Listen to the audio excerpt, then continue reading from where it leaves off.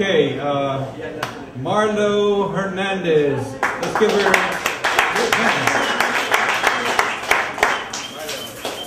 Uh, so I'm gonna do uh, Chet Baker.